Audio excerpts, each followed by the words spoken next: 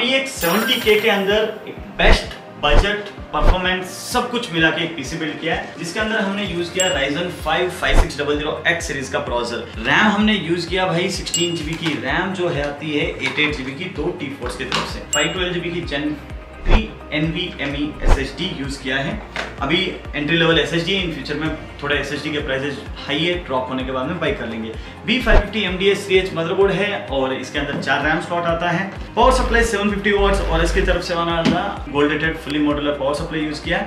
Graphic card RX 7600 XT series का use किया। Normal series use नहीं किया XT सीरीज़ है।